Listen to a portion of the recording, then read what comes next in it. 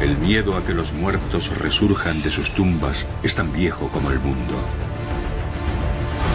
Y entre esos seres que podrían resucitar, los más temidos son los vampiros, los terroríficos señores de la noche. Yo soy Drácula. Seguro que habéis oído hablar de mí. Una criatura de la noche que se alimenta de sangre. Y no estoy muerto, pero tampoco vivo. Antes era un ser solitario al que todos temían. Pero hoy tengo muchos compañeros, estrellas del mundo moderno, que siguen mis pasos. Pero ¿en qué me han convertido? En un joven pálido que siente escrúpulos a la hora de morder. En un sex symbol de sagas románticas para adolescentes. Os contaré mi historia. Venid conmigo si tenéis el valor de seguirme.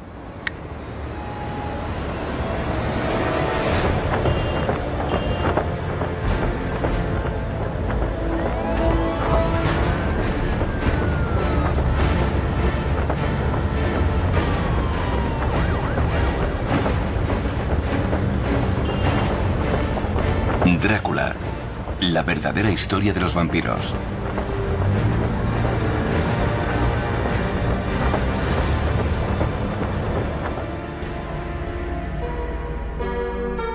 En 1897, el escritor irlandés Bram Stoker publica Drácula, que se convertirá en una de las novelas más conocidas de la literatura mundial. En ella habla de un conde rumano convertido en vampiro y su viaje a Inglaterra, donde cometerá terribles crímenes. A finales de la era victoriana, las historias de terror son un gran éxito de ventas.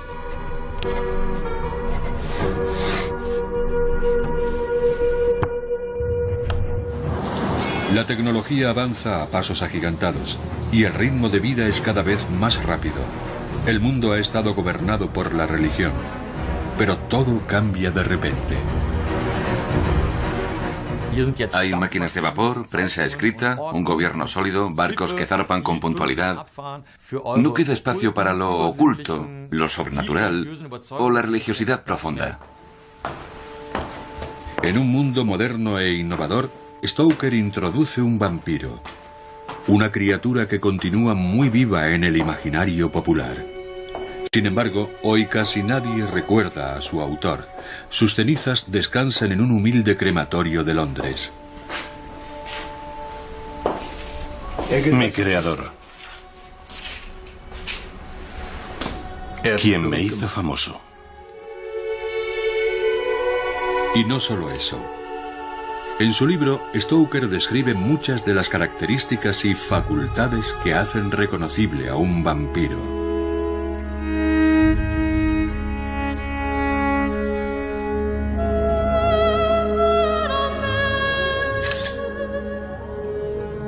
Cuando la novela Drácula es publicada, los críticos se muestran divididos.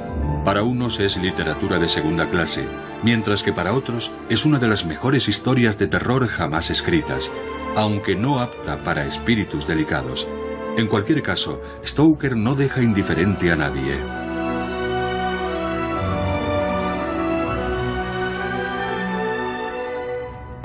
La creencia de que el espíritu sobrevive a la muerte permite fantasear sobre ese periodo que va desde el fallecimiento hasta la llegada del alma al otro mundo. El temor a que el alma no pueda separarse del cuerpo siempre está presente. Por eso las leyendas de muertos que vuelven de la tumba están tan extendidas. Mucho antes de la publicación de Drácula ya se conocían historias de supuestos vampiros.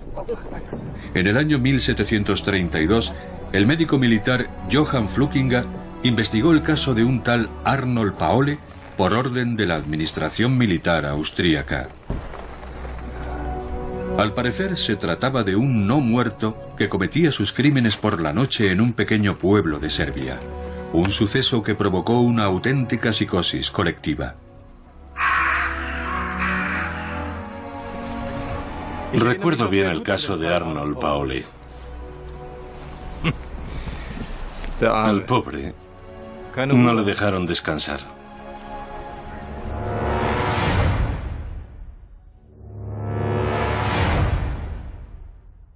Varios vecinos juraron haberlo visto poco después de su muerte, merodeando por las calles y penetrando en las casas para arrebatar a los vivos su energía vital.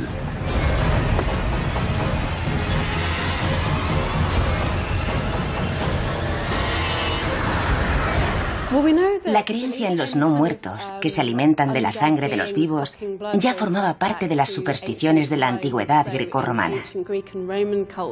En el calendario romano figuraba una celebración que tenía lugar en mayo, destinada a ahuyentar a los espíritus de aquellos pobres desdichados que no habían logrado alcanzar el más allá.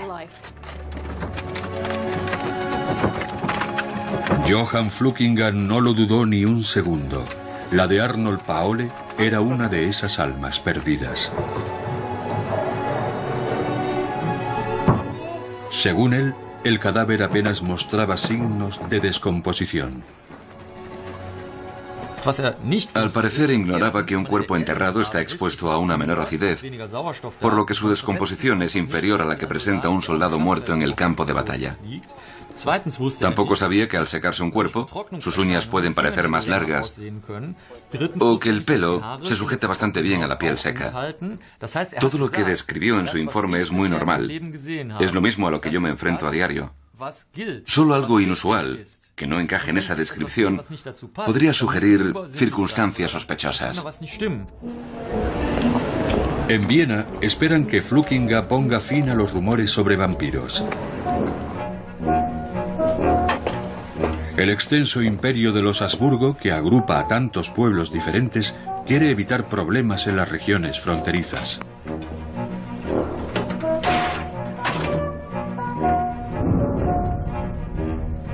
Pero su dictamen no colmará sus deseos, como muestra el informe final consignado en negro sobre blanco en el archivo real. Está en perfecto estado, no presenta descomposición. Había rastros de sangre fresca en los ojos, la nariz, la boca y las orejas.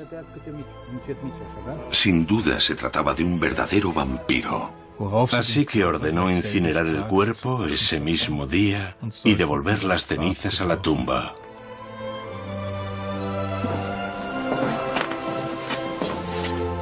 El informe de Flukinga corre como la pólvora por toda Europa. En lugar de apagar el incendio, el médico militar añade más leña al fuego.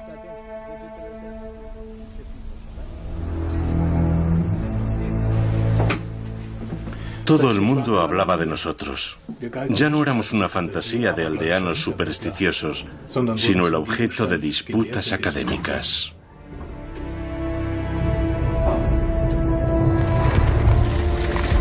Veinte años más tarde, los rumores sobre vampiros siguen recorriendo el imperio austríaco. La emperatriz María Teresa, muy preocupada, toma cartas en el asunto y ordena a su médico de cámara que estudie a fondo la cuestión. Su misión será acabar de una vez por todas con tan alarmante superstición.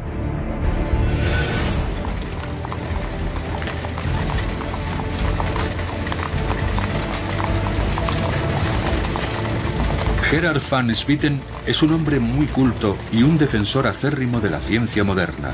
Para él los vampiros son tan solo una barbaridad difundida por los ignorantes, una simple quimera.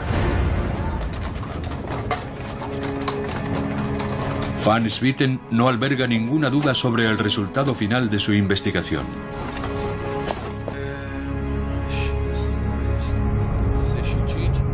Tras un minucioso examen, el médico de la emperatriz achaca a causas naturales como la falta de aire y el proceso de fermentación la sangre que fluía desde la boca, el cuerpo hinchado y la piel rosada. Sus conclusiones son enviadas a la corte.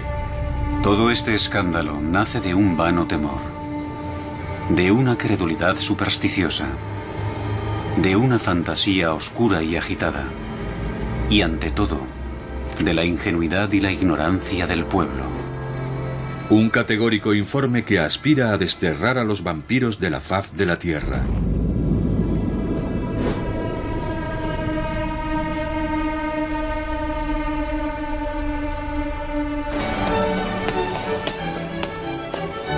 En Viena están muy satisfechos. creen haber acabado para siempre con la superstición. Por su parte, los desdeñosos extranjeros que veían la biblioteca de palacio como un bonito escenario para fiestas y reuniones, comienzan a ver este recinto como un refugio de la sabiduría digno del mayor respeto. La ilustración. Cuánto me gustaba. Montones de libros científicos para conjurar la superstición. Cientos de tratados solo con ese fin. La luz había llegado por fin a Viena. Y nosotros no existíamos. Para erradicar definitivamente la creencia en los vampiros se forma una alianza al más alto nivel. El mismo Papa ha escrito tratados definiendo el vampirismo como una alucinación de personas enfermas, y la emperatriz se suma a tan elevado empeño. El 1 de marzo de 1755 es publicado el llamado Decreto de los Vampiros, en el que se establecen penas muy severas para quien se atreva a abrir tumbas sin autorización y clavar estacas a los cadáveres.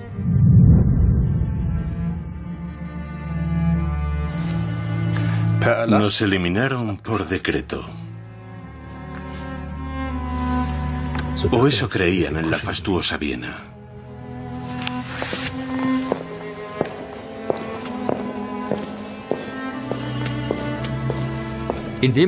Al enterarse de que gobiernos e instituciones investigan la existencia de vampiros, la población empieza a pensar, si el Estado se ocupa de esto es porque oculta algo importante. Al incluirlo en la ley, las autoridades reforzaron la creencia de que aquello era real. De lo contrario, no habrían puesto en marcha investigaciones o promulgado leyes y decretos. Fue un arma de doble filo que acabó reforzando la superstición.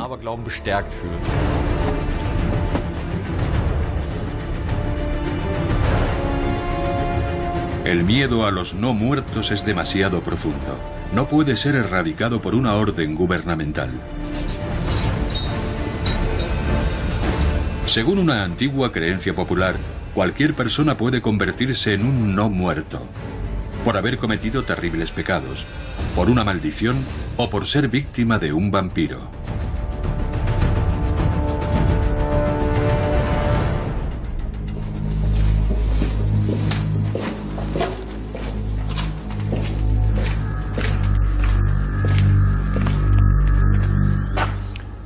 Cuando alguien vive tanto como yo, recorre el mundo entero y no he visto un solo lugar donde no me conozcan. Sí. Una bonita colección.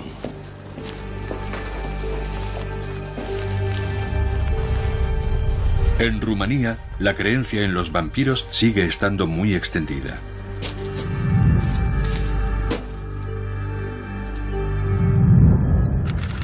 En la primavera de 2004, el pequeño pueblo de Marotino de Sus apareció en los titulares de la prensa local con motivo de la profanación de una tumba. El culpable fue fácil de localizar, ya que no ocultó su delito. Al contrario, se mostró orgulloso por haber impedido que un vampiro atacase a sus vecinos.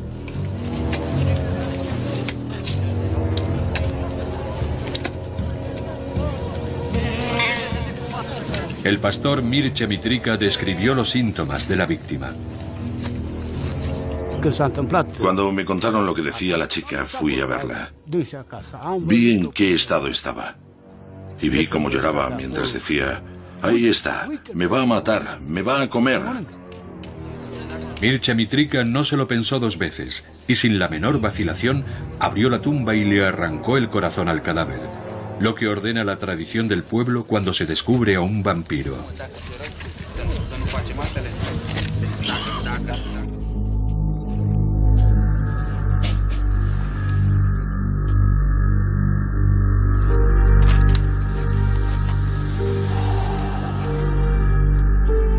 Esta es mi colección. Recuerdos del paso de los siglos. Empecé hace mucho tiempo. Supuestamente nos pueden matar con una bala de plata.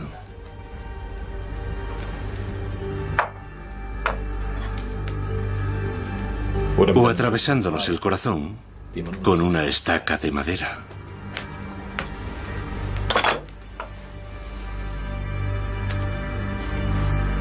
Y por aquí tengo una cruz.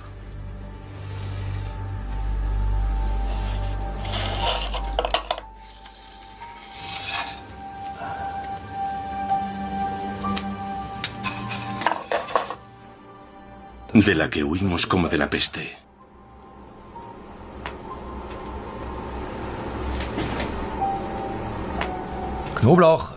El ajo es bueno para combatir a brujas y vampiros. Aparecen muchas historias. Una de ellas cuenta cómo algunos espíritus pueden adquirir forma corpórea tras penetrar en una cocina un determinado número de veces y cómo el ajo se convierte entonces en una eficaz y asequible defensa. Otra historia cuenta que el ajo surgió de la tierra que el diablo acababa de pisar con su pie izquierdo tras ser expulsado del paraíso, y que donde crece el ajo se reconoce la huella del diablo. Para mí el ajo está tan presente en la mitología porque es muy saludable y curativo. De ahí proviene su supuesta relación con lo sobrenatural.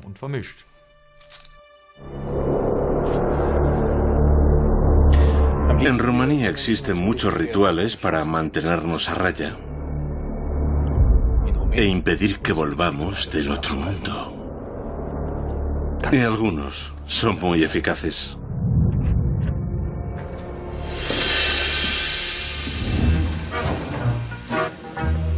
La anciana Nana Sida lleva décadas utilizando esos rituales.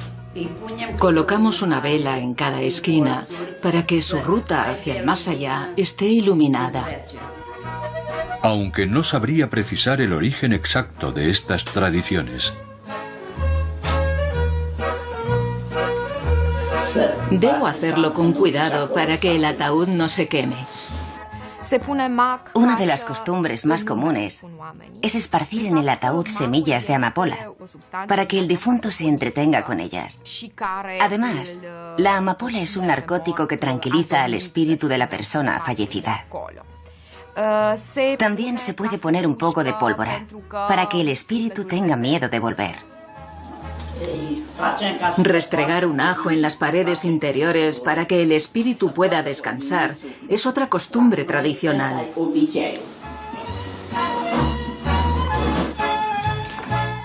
Durante los últimos años, algunos han comenzado a introducir en el ataúd un teléfono móvil para que el difunto pueda comunicarse desde el más allá.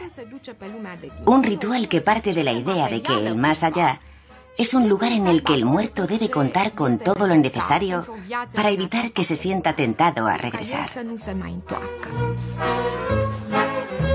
Por último, se clava una estaca en el cadáver, aunque sea de forma simbólica. Colocamos una aguja en la llama de la vela hasta que esté al rojo vivo. La aguja simboliza la estaca que clavaremos junto al oído. Y después, que Dios le dé el descanso eterno. Rumanía es la patria de los vampiros.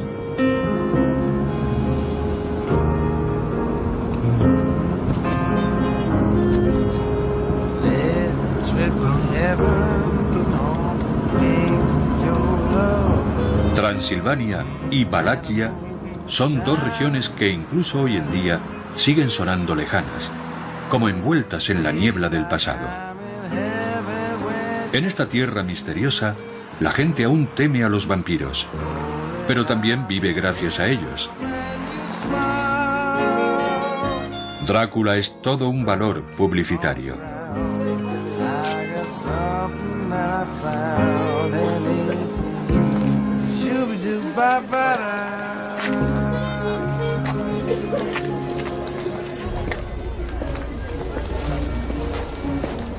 La ciudad transilvana de Bran fue el hogar del personaje histórico que inspiró la leyenda.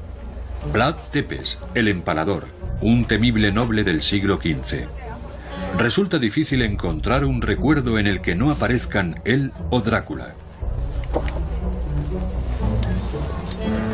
Deberían darme comisión. El negocio marcha Gracias a mi fama. Bran recibe miles de visitantes cada año. La idea de que esta fuese la residencia del empalador nació hace 50 años, tras considerar que este hermoso castillo era el que más se ajustaba a la descripción de Stoker.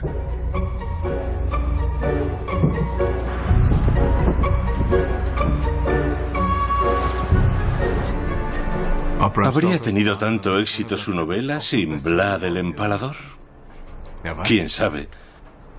Aunque la auténtica clave fue la debilidad de la Inglaterra moderna por lo sobrenatural.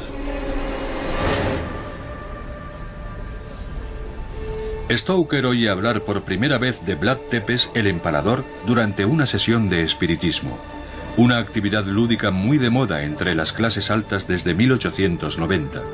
Incluso los científicos participan. Un historiador húngaro, tras ser presentado a Stoker, le cuenta la historia de Vlad Tepes, el señor de Valaquia, el terrible Vlad el Empalador. El escritor escucha atónito su minucioso relato que retrata su extrema crueldad. El primer documento histórico que menciona la figura de Vlad Tepes está fechado en 1463 y es un texto en rima muy alejado de la realidad. Valaquia, donde también vivieron el padre y el hijo de Tepes, era por entonces una región muy extraña, casi tanto como la luna.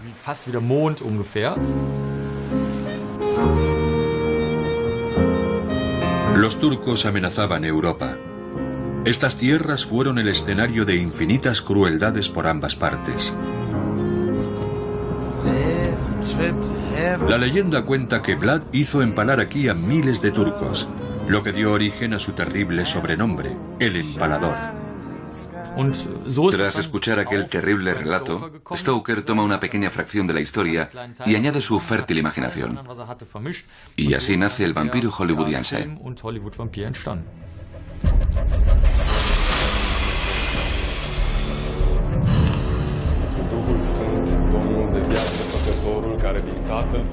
El Drácula de Stoker es un despliegue de fantasía irlandesa condimentado con un toque de historia tradicional rumana.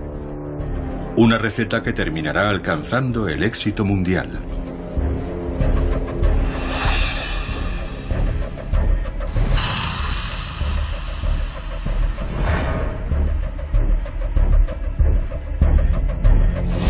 El más famoso vampiro también debe su nombre al siniestro y cruel príncipe balaco del siglo XV.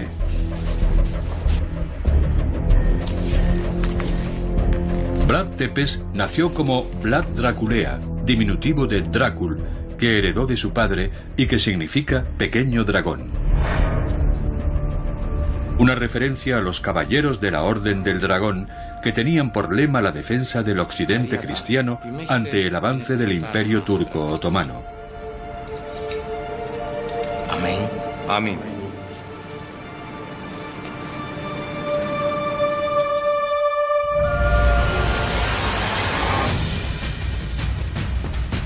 Vlad Tepes era un guerrero despiadado y temido que torturó y masacró a miles de enemigos.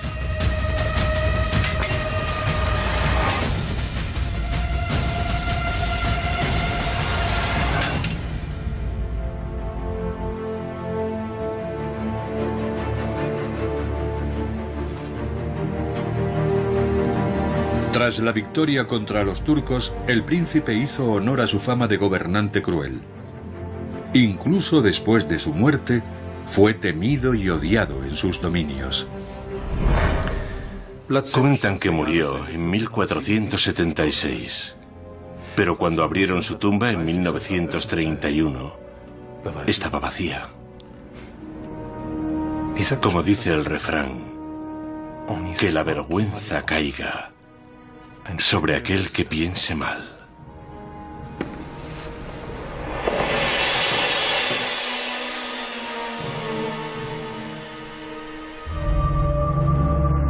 La pluma de Bram Stoker transforma al sanguinario príncipe Vlad en un vampiro que se alimenta de sangre. Incluso cambia el título inicial de la novela, de El no muerto a Drácula. Stoker era un gran investigador, algo que muchos ignoraban. Pero el descubrimiento del manuscrito original y de las notas previas dejó patente que había leído muchos artículos de prensa y numerosos informes de viajes antes de crear una obra tan completa. Su protagonista es complejo y singular. Bram sabía todo sobre mí, incluso a qué escuela había ido y el nombre de mi maestro. Junto a otros nueve aprendices, Drácula aprende brujería con el mismísimo diablo. Solo el alumno más dotado le servirá eternamente. Adivinad quién fue el elegido.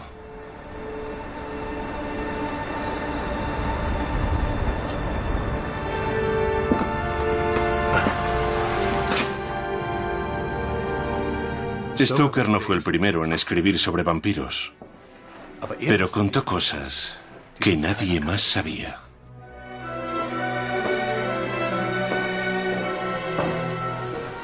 Bram Stoker combina hábilmente datos históricos con elementos propios de las novelas de terror.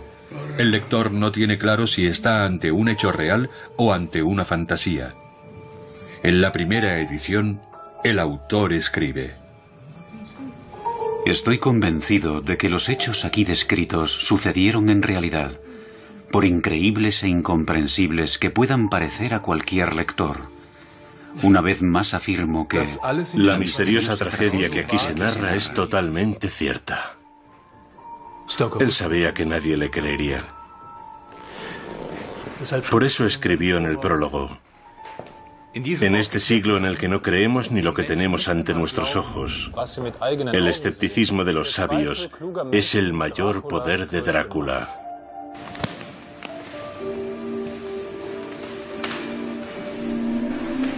En un momento en el que se intenta comprender todo, Stoker se divierte sembrando dudas.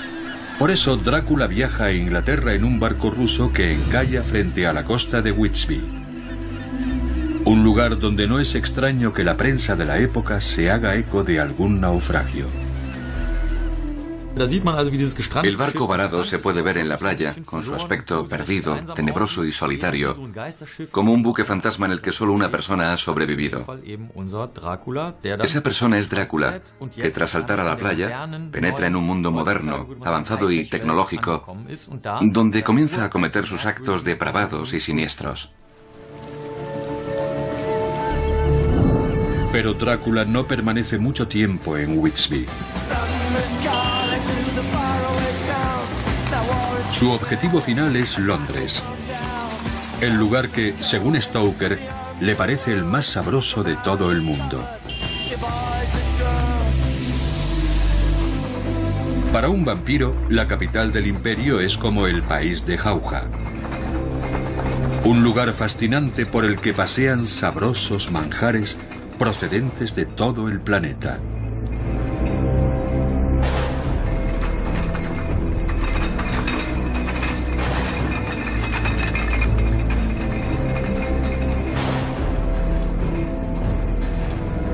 Drácula se convierte en su dueño y señor.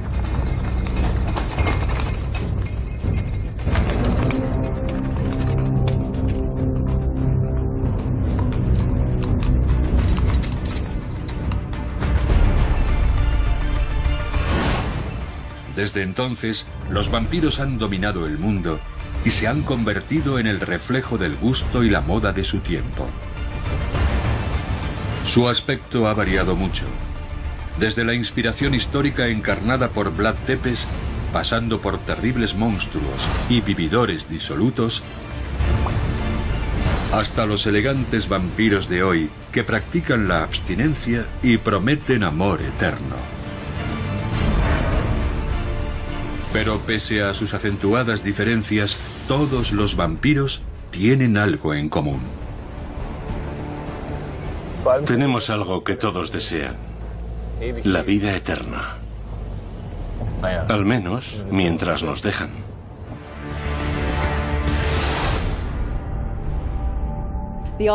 La idea de un Drácula inmortal es algo que se opone a la corriente cultural vigente. Es un concepto que se enfrenta a los valores que constituyen e impulsan nuestra sociedad. El materialismo, el conformismo y la respetabilidad. La leyenda de Drácula se basa en la inmortalidad, que es algo que no encaja en los valores de nuestra sociedad materialista. Los vampiros de hoy tienen muy poco que ver con Drácula. Algunos incluso intentan ser buenas personas. Hollywood ha convertido al monstruo sanguinario y nocturno en un adolescente enamoradizo y vulnerable.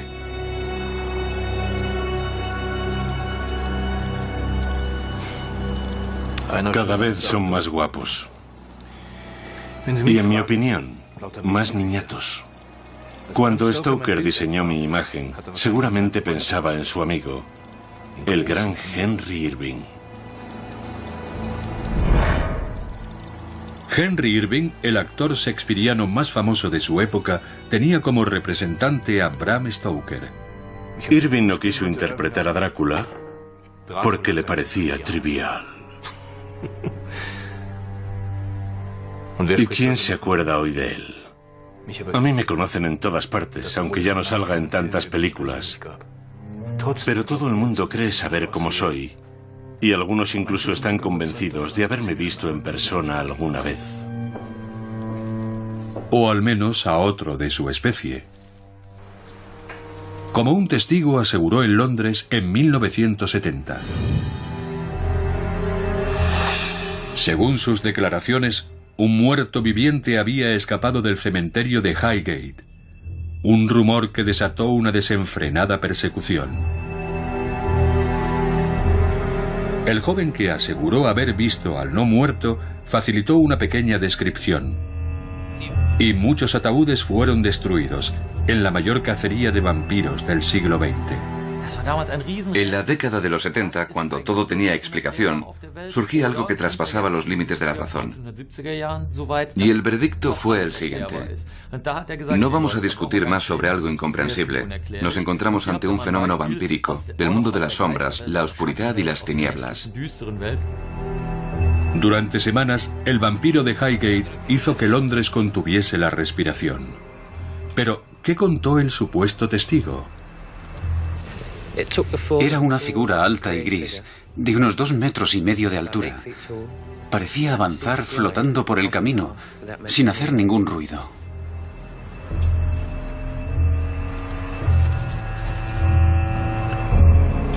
He estado muchas veces en Highgate y nunca he visto a otro vampiro.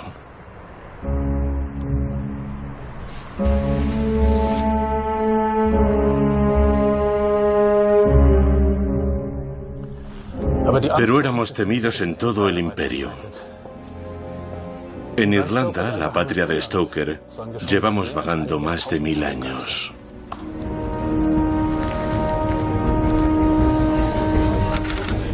Hace pocos años, en Irlanda del Norte, unos arqueólogos descubrieron un cementerio del siglo VIII y desenterraron unos 3.000 esqueletos. Algunos tenían piedras colocadas sobre las piernas, una señal clara del temor a que los muertos pudiesen regresar. Los investigadores han encontrado indicios de ese miedo ancestral en otros cementerios británicos. Hemos encontrado clavos similares a este, clavados en el cuerpo de forma intencionada.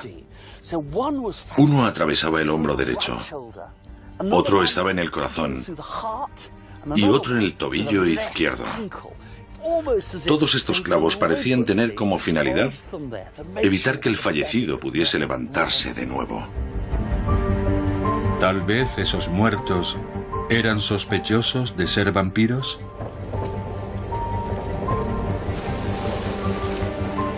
Pero Stoker ignoraba tales hechos cuando escribió Drácula en esta casa.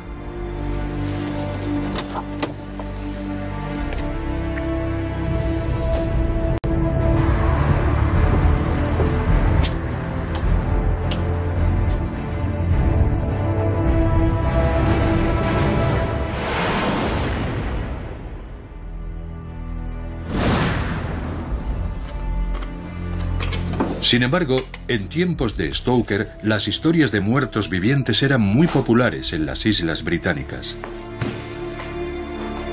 En sus notas no aparece nada sobre su Irlanda natal. Allí solo existen elfos, hadas, duendes y otros seres mágicos. Aunque bien mirado, ¿por qué escribir sobre lo que ya se conoce? Uno de los personajes mitológicos del inframundo irlandés podría poner en cuestión todo lo que creemos saber sobre el origen de los vampiros. Un muerto viviente que sembró el terror allá por el siglo VI.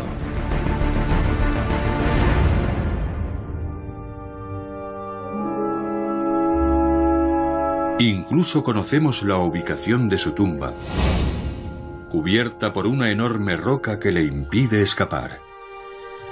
Está en Slagtaverty, que según este libro viene del irlandés Lachtaverty y significa la tumba de Abartak, la sepultura del enano.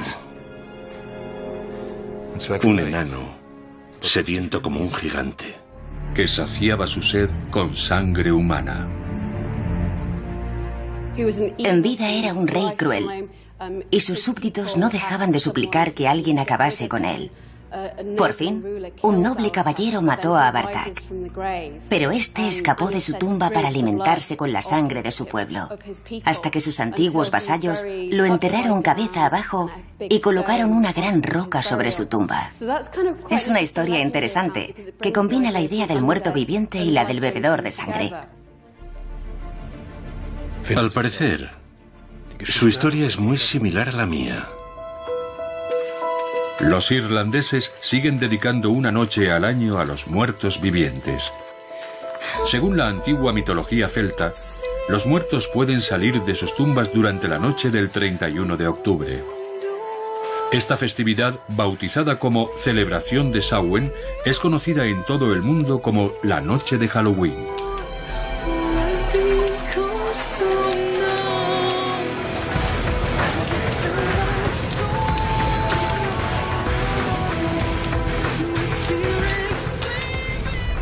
Me gusta ver cómo disfrutan. Incluso pierden el miedo atávico a la oscuridad. El verdadero objetivo de estos antiguos rituales es mantener a raya a los muertos.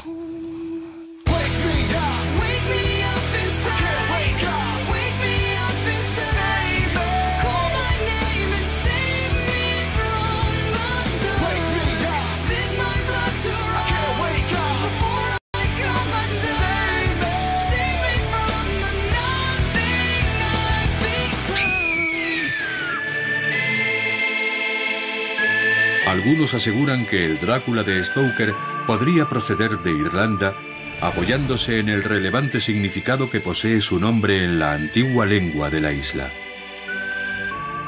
La palabra Drácula podría tener un origen irlandés, ya que Droc Ula, en este idioma, significa mala sangre. Es cierto que resulta más lógico que este sonoro sobrenombre proceda de Vlad Draculea, Vlad el Empalador, el noble rumano del siglo XV. Pero también es posible que Stoker eligiese esa palabra por su resonancia y su significado en irlandés, que encajaba a la perfección con el siniestro carácter de su protagonista.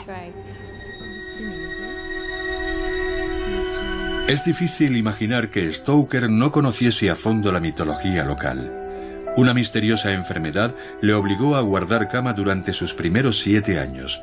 Su madre y su niñera, siempre solícitas, trataban de entretenerle contándole historias y leyendas irlandesas.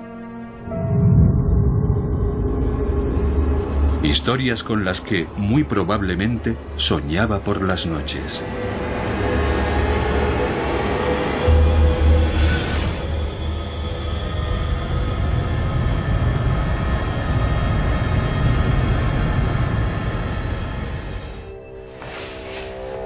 Tal vez era incapaz de diferenciar el sueño de la realidad. Bram Stoker murió el 20 de abril de 1912 sin dejar ningún testimonio escrito que clarificara dónde y cuándo oyó hablar por primera vez de vampiros y muertos vivientes. Según el informe forense, la causa de la muerte fue el agotamiento.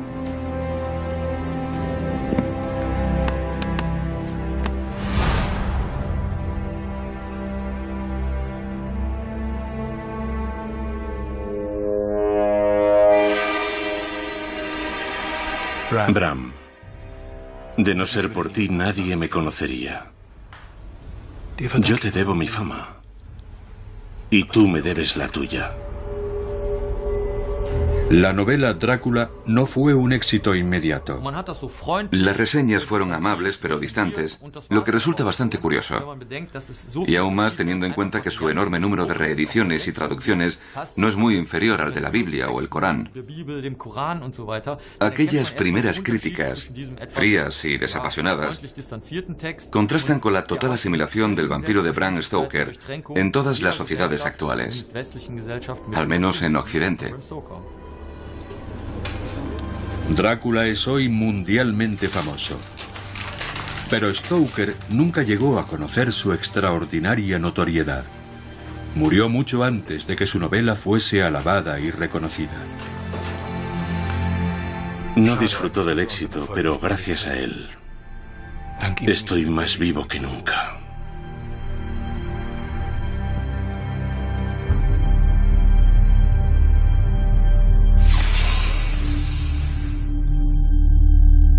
Tras su muerte, el escritor irlandés Bram Stoker fue incinerado, algo muy poco usual en aquella época. ¿Es posible que en sus momentos finales sintiese miedo de su propia fantasía? ¿Miedo al mundo tenebroso que hay entre la vida y la muerte? Ese lugar siniestro y desconocido cuyas insondables tinieblas nos angustian y aterrorizan. ¿Quién sabe? Ya conocéis mi historia. Y sabéis que nunca moriré, porque nunca he estado vivo. Solo existo en vuestra imaginación, y de vosotros depende cuándo y dónde volveré a aparecer.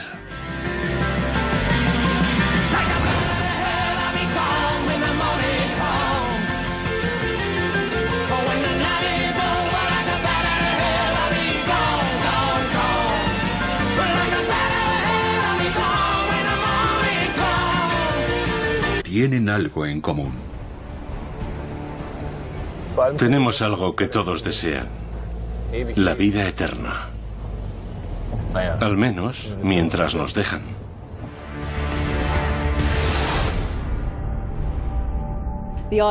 La idea de un Drácula inmortal es algo que se opone a la corriente cultural vigente.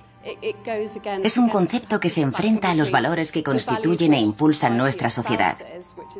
El materialismo, el conformismo y la respetabilidad. La leyenda de Drácula se basa en la inmortalidad, que es algo que no encaja en los valores de nuestra sociedad materialista. Los vampiros de hoy tienen muy poco que ver con Drácula. Algunos incluso intentan ser buenas personas.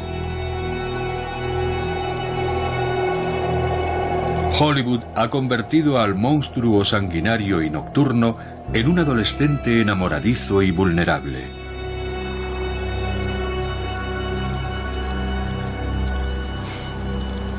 Cada vez son más guapos. Y en mi opinión, más niñatos. Cuando Stoker diseñó mi imagen, seguramente pensaba en su amigo, el gran Henry Irving. Henry Irving, el actor shakespeariano más famoso de su época, tenía como representante a Bram Stoker. Irving no quiso interpretar a Drácula porque le parecía trivial. ¿Y quién se acuerda hoy de él? A mí me conocen en todas partes, aunque ya no salga en tantas películas. Pero todo el mundo cree saber cómo soy y algunos incluso están convencidos de haberme visto en persona alguna vez. O al menos a otro de su especie. Como un testigo aseguró en Londres en 1970. Según sus declaraciones, un muerto viviente había escapado del cementerio de Highgate, un rumor que desató una desenfrenada persecución. El joven que aseguró haber visto al no muerto facilitó una pequeña descripción. Y muchos ataúdes fueron destruidos en la mayor cacería de vampiros del siglo XX. En la década de los 70, cuando todo tenía explicación, surgía algo que traspasaba los límites de la razón. Y el veredicto fue el siguiente. No vamos a discutir más sobre algo incomprensible. Nos encontramos ante un fenómeno vampírico, del mundo de las sombras, la oscuridad y las tinieblas. Durante semanas, el vampiro de Highgate hizo que Londres contuviese la respiración. Pero, ¿qué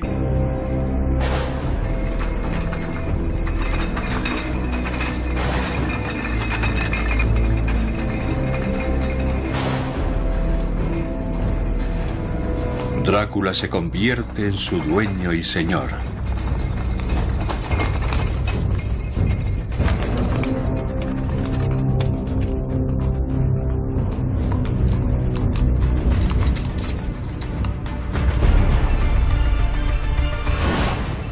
Desde entonces, los vampiros han dominado el mundo y se han convertido en el reflejo del gusto y la moda de su tiempo.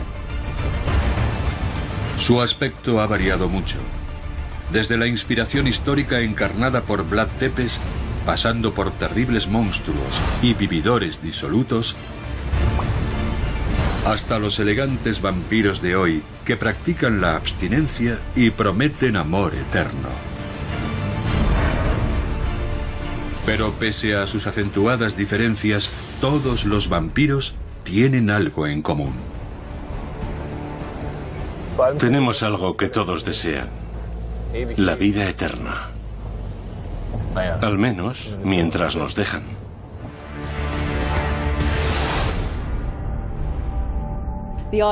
La idea de un Drácula inmortal es algo que se opone a la corriente cultural vigente.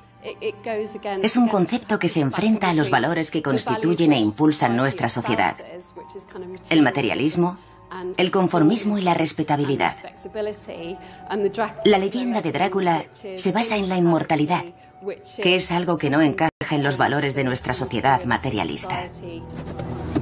Los vampiros de hoy tienen muy poco que ver con Drácula. Algunos incluso intentan ser buenas personas.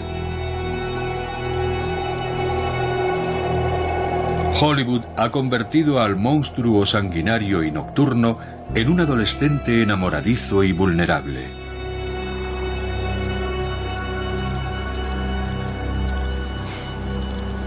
Cada vez son más guapos. Y en mi opinión, más niñatos. Cuando Stoker diseñó mi imagen, seguramente pensaba en su amigo, el gran Henry Irving. Henry Irving, el actor shakespeariano más famoso de su época, tenía como representante a Bram Stoker. Irving no quiso interpretar a Drácula porque le parecía trivial. ¿Y quién se acuerda hoy de él? A mí me conocen en todas partes, aunque ya no salga en tantas películas. Pero todo el mundo cree saber cómo soy. Y algunos incluso están convencidos. Sin embargo, hoy casi nadie recuerda a su autor. Sus cenizas descansan en un humilde crematorio de Londres. Mi creador. Quien me hizo famoso. Y no solo eso. En su libro, Stoker describe muchas de las características y facultades que hacen reconocible a un vampiro.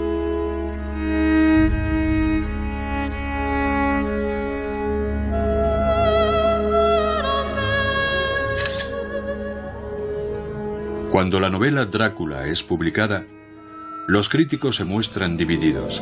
Para unos es literatura de segunda clase, mientras que para otros es una de las mejores historias de terror jamás escritas, aunque no apta para espíritus delicados. En cualquier caso, Stoker no deja indiferente a nadie.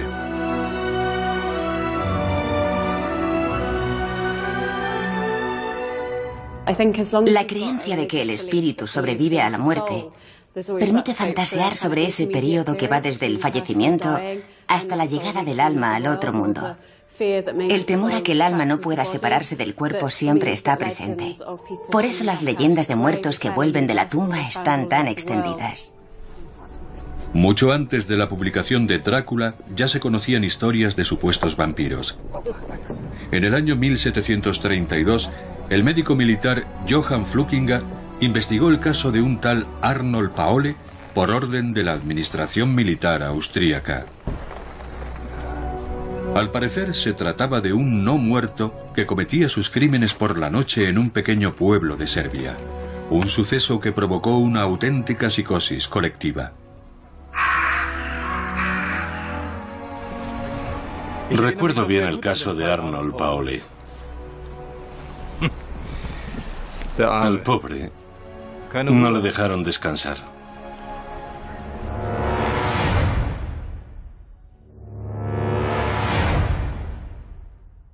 Varios vecinos juraron haberlo visto poco después de su muerte, merodeando por las calles y penetrando en las casas para arrebatar a los vivos su energía vital.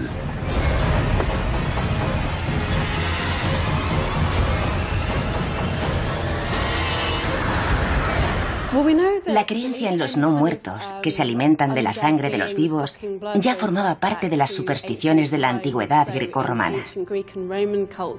En el calendario romano figuraba una celebración que tenía lugar en mayo, destinada a ahuyentar a los espíritus de aquellos pobres desdichados que no habían logrado alcanzar el más allá. Y entre esos seres que podrían resucitar, los más temidos son los vampiros, los terroríficos señores de la noche. Yo soy Drácula. Seguro que habéis oído hablar de mí. Una criatura de la noche que se alimenta de sangre. Y no estoy muerto, pero tampoco vivo. Antes era un ser solitario al que todos temían. Pero hoy tengo muchos compañeros, estrellas del mundo moderno, que siguen mis pasos. Pero ¿en qué me han convertido? En un joven pálido que siente escrúpulos a la hora de morder. En un sex symbol de sagas románticas para adolescentes. Os contaré mi historia. Venid conmigo si tenéis el valor de seguirme.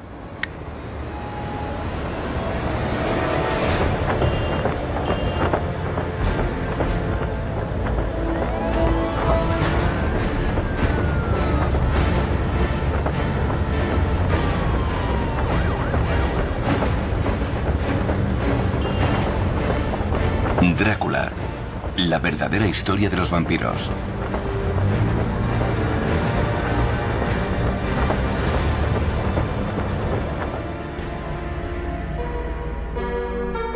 En 1897 el escritor irlandés Bram Stoker publica Drácula, que se convertirá en una de las novelas más conocidas de la literatura mundial.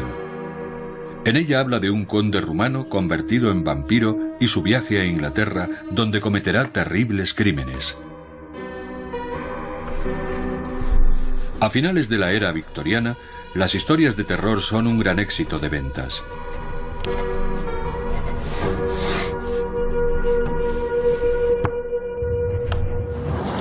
La tecnología avanza a pasos agigantados y el ritmo de vida es cada vez más rápido.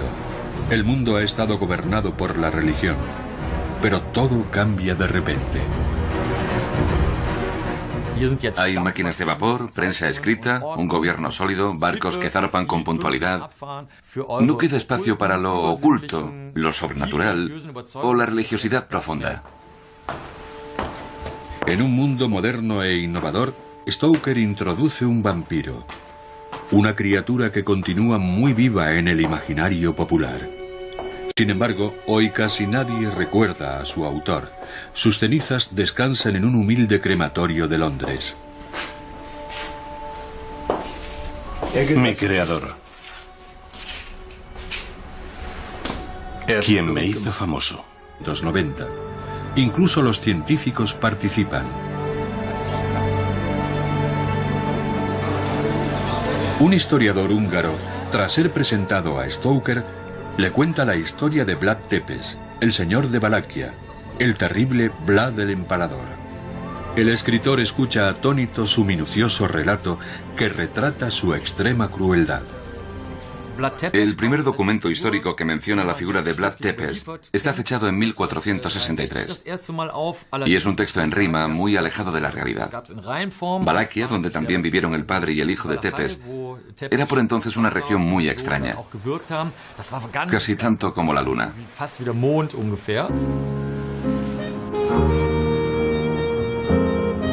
Los turcos amenazaban Europa. Estas tierras fueron el escenario de infinitas crueldades por ambas partes. La leyenda cuenta que Vlad hizo empalar aquí a miles de turcos, lo que dio origen a su terrible sobrenombre, el empalador. Tras escuchar aquel terrible relato, Stoker toma una pequeña fracción de la historia y añade su fértil imaginación. Y así nace el vampiro hollywoodiense.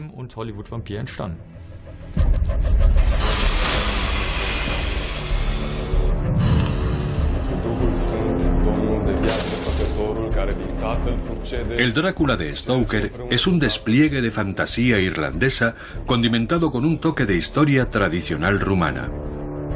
Una receta que terminará alcanzando el éxito mundial.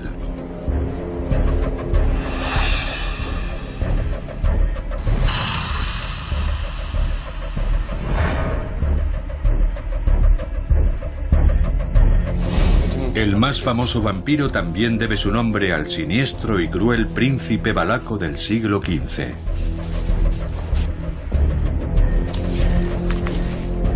Vlad Tepes nació como Vlad Draculea, diminutivo de Drácul, que heredó de su padre y que significa pequeño dragón.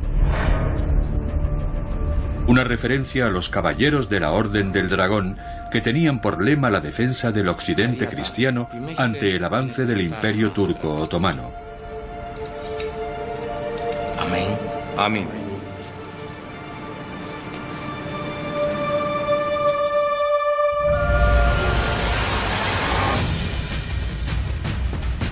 Vlad Tepes era un guerrero despiadado y temido que torturó y masacró a miles de enemigos.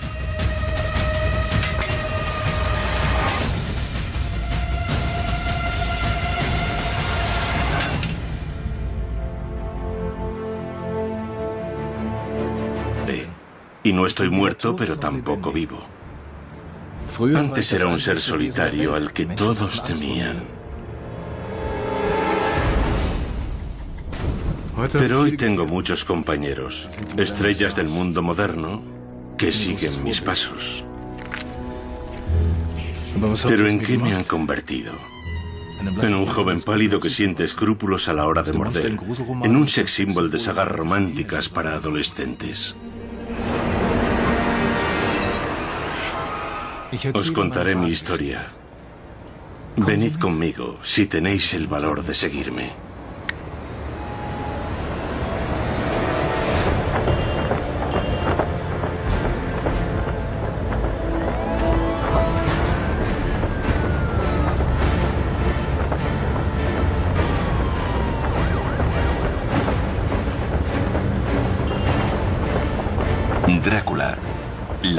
Historia de los vampiros.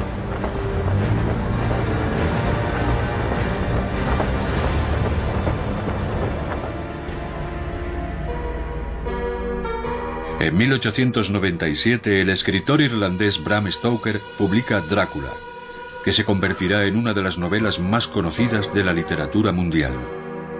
En ella habla de un conde rumano convertido en vampiro y su viaje a Inglaterra donde cometerá terribles crímenes.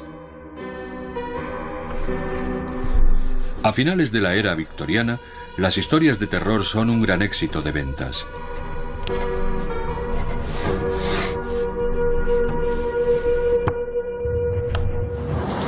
La tecnología avanza a pasos agigantados y el ritmo de vida es cada vez más rápido. El mundo ha estado gobernado por la religión. pero todo cambia de repente.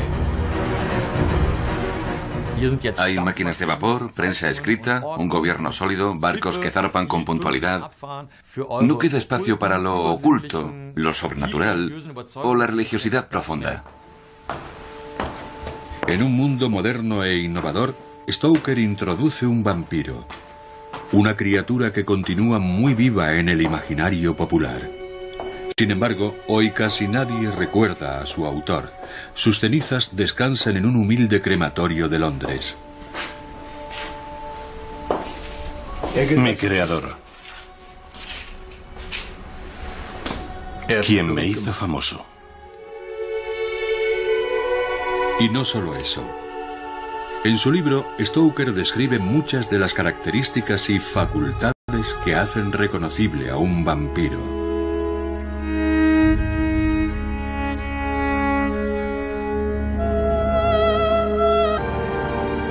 Stoker no fue el primero en escribir sobre vampiros, pero contó cosas que nadie más sabía.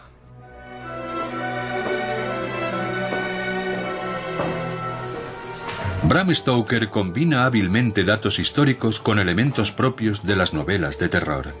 El lector no tiene claro si está ante un hecho real o ante una fantasía. En la primera edición, el autor escribe. Estoy convencido de que los hechos aquí descritos sucedieron en realidad, por increíbles e incomprensibles que puedan parecer a cualquier lector. Una vez más afirmo que... La misteriosa tragedia que aquí se narra es totalmente cierta. Él sabía que nadie le creería. Por eso escribió en el prólogo, en este siglo en el que no creemos ni lo que tenemos ante nuestros ojos, el escepticismo de los sabios es el mayor poder de Drácula.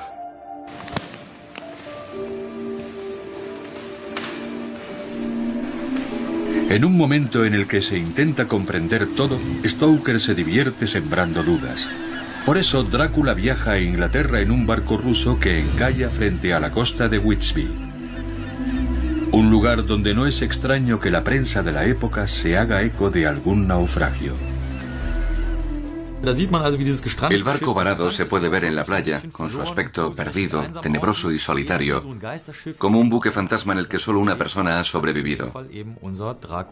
Esa persona es Drácula, que tras saltar a la playa, penetra en un mundo moderno, avanzado y tecnológico, donde comienza a cometer sus actos depravados y siniestros. Pero Drácula no permanece mucho tiempo en Whitby. Su objetivo final es Londres, el lugar que, según Stoker, le parece el más sabroso de todo el mundo. Para un vampiro, la capital del imperio es como el país de Jauja. Un lugar fascinante por el que pasean sabrosos manjares procedentes de todo el planeta.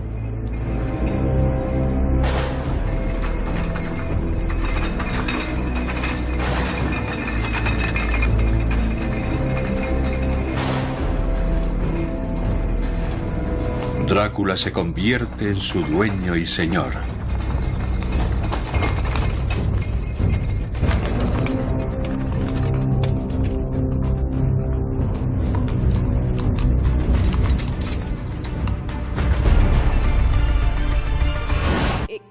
Es un concepto que se enfrenta a los valores que constituyen e impulsan nuestra sociedad. El materialismo, el conformismo y la respetabilidad. La leyenda de Drácula se basa en la inmortalidad, que es algo que no encaja en los valores de nuestra sociedad materialista. Los vampiros de hoy tienen muy poco que ver con Drácula. Algunos incluso intentan ser buenas personas.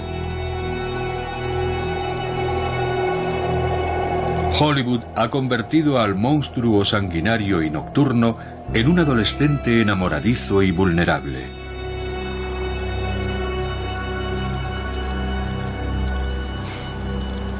Cada vez son más guapos.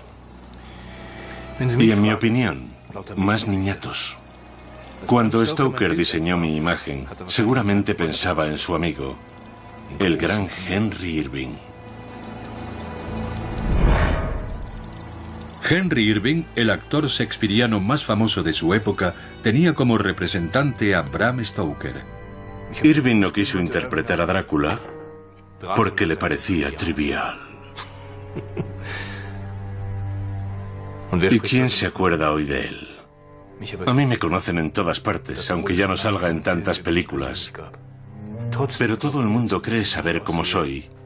Y algunos incluso están convencidos de haberme visto en persona alguna vez. O al menos a otro de su especie.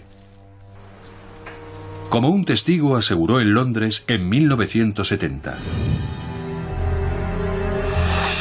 Según sus declaraciones, un muerto viviente había escapado del cementerio de Highgate.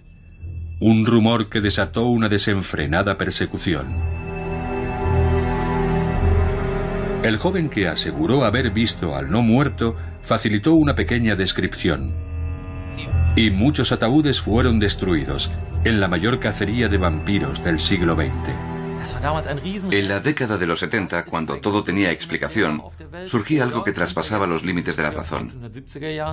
Y el veredicto fue el siguiente. No vamos a discutir más sobre algo incomprensible. Nos encontramos ante un fenómeno vampírico, del mundo de las sombras, la oscuridad y las tinieblas. Durante semanas, el vampiro de Highgate hizo que Londres contuviese la respiración. Pero, ¿qué contó el supuesto testigo? Era una figura alta y gris, de unos dos metros y medio de altura.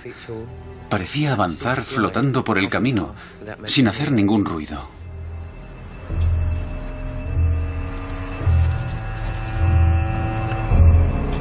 He estado muchas veces en Highgate. Trataba de un no muerto que cometía sus crímenes por la noche en un pequeño pueblo de Serbia.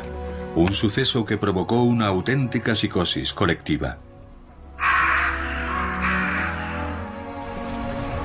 Recuerdo bien el caso de Arnold Paoli.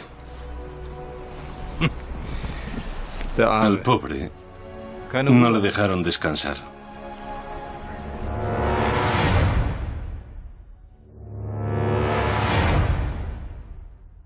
Varios vecinos juraron haberlo visto poco después de su muerte, merodeando por las calles y penetrando en las casas para arrebatar a los vivos su energía vital.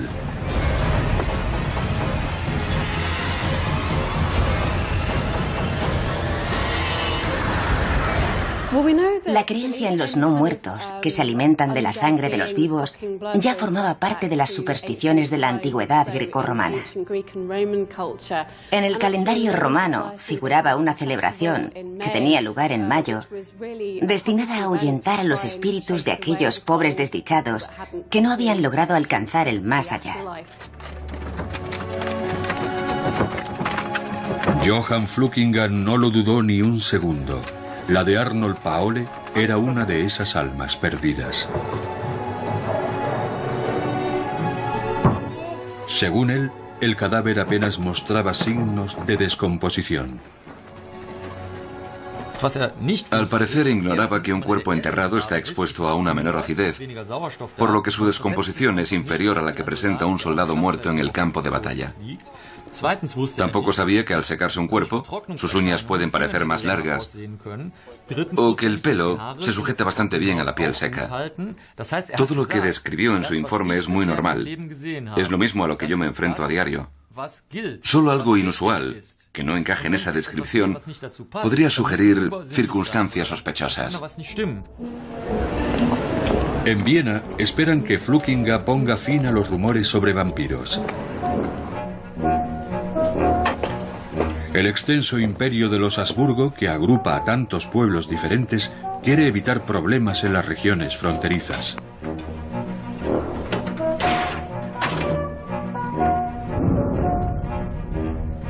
Pero su dictamen no colmará sus deseos, como muestra el informe final consignado en negro sobre blanco en el archivo real. Está en perfecto estado, no presenta descomposición. Había rastros de sangre fresca en los ojos, la nariz, la boca y las orejas. Sin duda se trataba de un verdadero vampiro. Así que ordenó incinerar el cuerpo ese mismo. La creencia de que el espíritu sobrevive a la muerte permite fantasear sobre ese periodo que va desde el fallecimiento hasta la llegada del alma al otro mundo. El temor a que el alma no pueda separarse del cuerpo siempre está presente. Por eso las leyendas de muertos que vuelven de la tumba están tan extendidas. Mucho antes de la publicación de Drácula ya se conocían historias de supuestos vampiros. En el año 1732, el médico militar Johann Fluckinga investigó el caso de un tal Arnold Paole por orden de la administración militar austríaca. Al parecer se trataba de un no muerto que cometía sus crímenes por la noche en un pequeño pueblo de Serbia, un suceso que provocó una auténtica psicosis colectiva. Recuerdo bien el caso de Arnold Paoli. Al pobre no le dejaron descansar.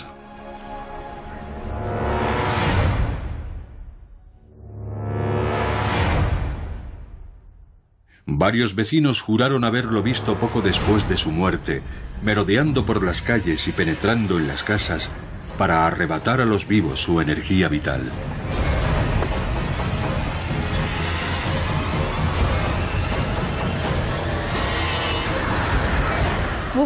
La creencia en los no muertos, que se alimentan de la sangre de los vivos, ya formaba parte de las supersticiones de la antigüedad grecorromana. En el calendario romano figuraba una celebración que tenía lugar en mayo, destinada a ahuyentar a los espíritus de aquellos pobres desdichados que no habían logrado alcanzar el más allá. Johann Fluckinga no lo dudó ni un segundo. La de Arnold Paole era una de esas almas perdidas.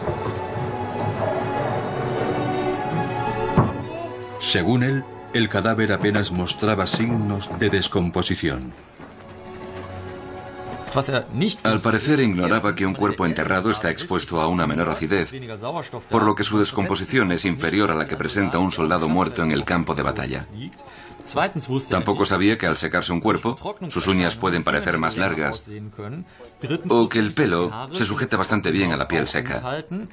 Todo lo que describió en su informe es muy normal. Es lo mismo a lo que yo me enfrento a diario.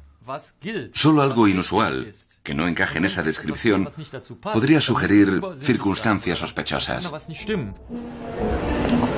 En Viena esperan que Fluckinga ponga fin a los rumores sobre vampiros.